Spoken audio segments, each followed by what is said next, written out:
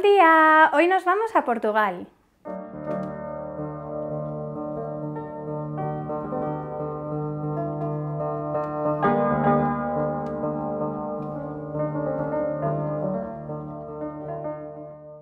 Hoy vamos a cocinar el bacalao a brás. Es una receta muy típica de la gastronomía portuguesa y se originó en concreto en Lisboa, en el barrio Alto, gracias a un tabernero que se llamaba Don Brás, que en el siglo XVIII tuvo la feliz idea de utilizar sobras del bacalao y mezclarlos con, con huevos y cebolla y bueno, pues así se dio origen a esta receta tan rica. Eh, mientras cocinamos vamos a escuchar la música de un compositor también del siglo XVIII y de la primera mitad del siglo XIX que se llama Joao Bontempo. Este compositor, en realidad Joao Domingos Bontempo, nació en 1771 en Lisboa. Fue contemporáneo de compositores tan importantes como Mozart o Beethoven y llegó a ser un gran amigo de Clementi. Vamos a escuchar una de sus sonatas para fortepiano. El fortepiano es el instrumento antecesor del piano moderno. Como veis, eran en sí mismos obras de arte porque en la construcción, que era artesanal, se cuidaban mucho los detalles de forma y de decoración. Después vamos a ir a conocer a la pianista que vamos a escuchar para que nos enseñe estos instrumentos. Pues vamos a hacer un experimento. Eh, nos gustaría enseñaros lo que es la forma sonata a través de la cocina. La forma sonata es una estructura mm, que tenían muchísimas de las obras que componían en aquel momento y digamos que tiene tres partes. En la primera parte se presentan los temas musicales, que es como los ingredientes, y se llama exposición. La segunda parte eh, elabora y mezcla esos temas, es como cocinar esos ingredientes y se llama desarrollo. Y la tercera parte nos vuelve a enseñar los mismos ingredientes, pero como han sido ya cocinados, pues crean un efecto en el oído completamente diferente y se llama reexposición. Bueno, pues como vamos a escuchar un ejemplo de, movimiento de forma sonata, vamos a ver si combina bien con esta receta. Vamos a ponernos a ello. Empieza la exposición. Necesitamos unos 280 gramos de bacalao desalado. Nosotros hemos utilizado ventresca, pero podéis utilizar migas de bacalao si preferís. 400 gramos de patatas, una cebolla grande cortada en rodajas finitas, un diente de ajo picado, una cucharadita de pimienta, sal al gusto, 4 huevos, un buen puñado de aceitunas negras y perejil fresco. Lo primero que tenemos que hacer es desalar el bacalao desde el día anterior. Este es el aspecto del bacalao seco en salazón. Para desalarlo tenemos que meterlo durante 24 horas en agua, cambiándole el agua cada 6 u 8 horas. Es muy importante guardarlo en la nevera para que no dé olor. Una vez desalado queda de esta manera. Para terminar de preparar el bacalao para esta receta, lo hervimos durante un minuto.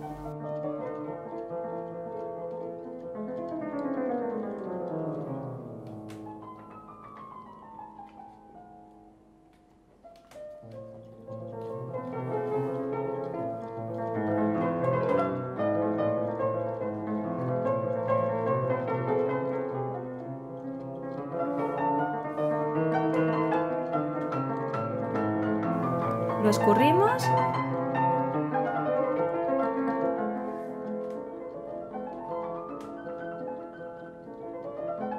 y lo desmenuzamos en trocitos muy pequeños.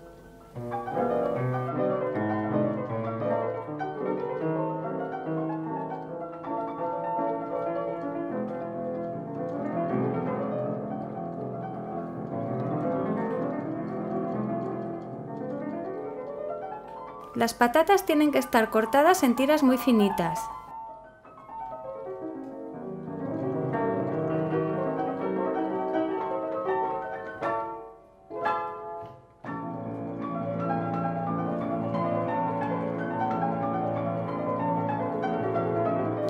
y las metemos en agua para que suelten bien el almidón, porque al freírlas van a quedar más sueltas.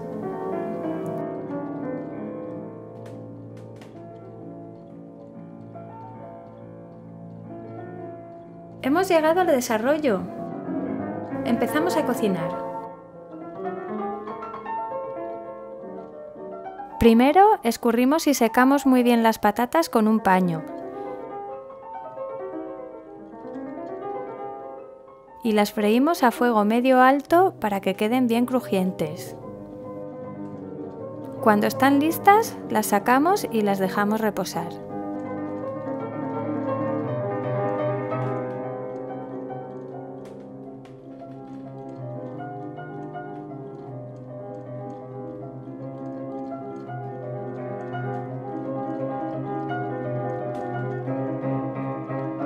Después pochamos la cebolla con el ajo a fuego lento hasta que quede muy blandita y transparente.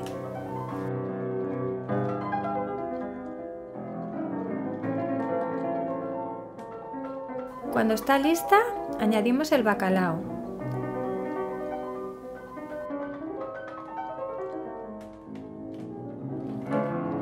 Removemos y añadimos las patatas.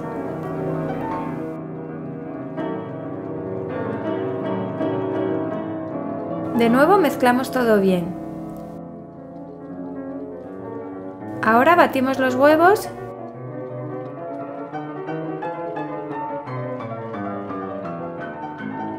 y los añadimos después de ponerle la pimienta y la sal al gusto.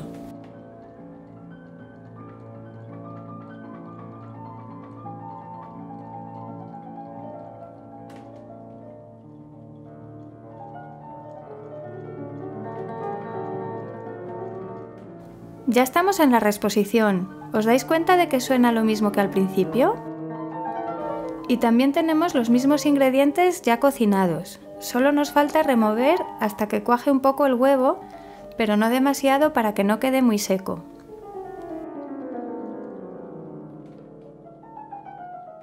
Cuando está listo, lo servimos.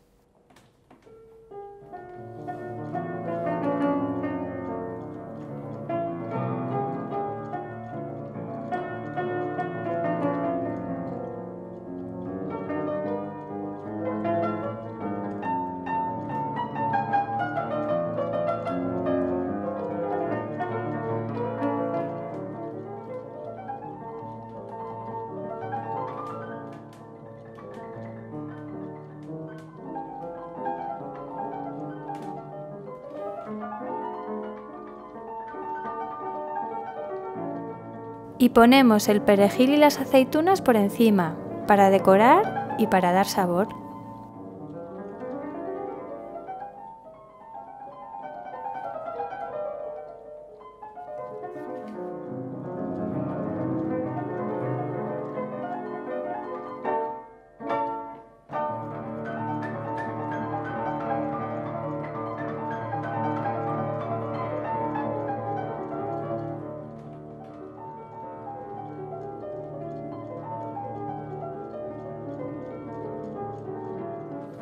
Pues este es el bacalao brás. Vamos a probarlo.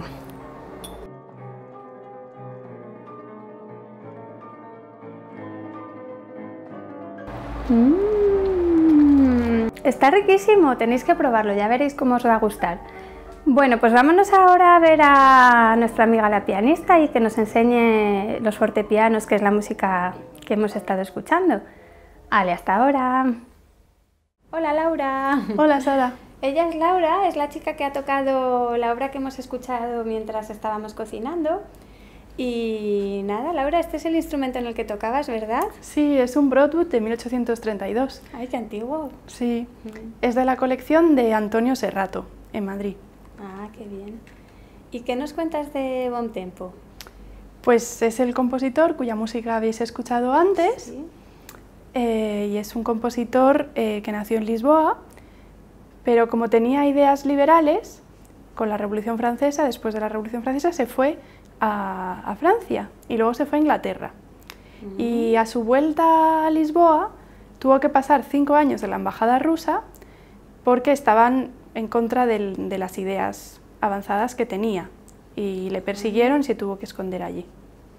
qué curioso. Y el caso es que es un compositor muy desconocido, ¿verdad? Sí, no es muy conocido fuera de Portugal, pero merece mucho la pena escuchar sus obras. Qué bien. Pues Laura, ¿tocarías un poquito para que te oigamos? Claro. Sí, qué bien. Pues nada, vamos a escucharte y yo me despido ya y os dejo con Laura. Hasta el próximo.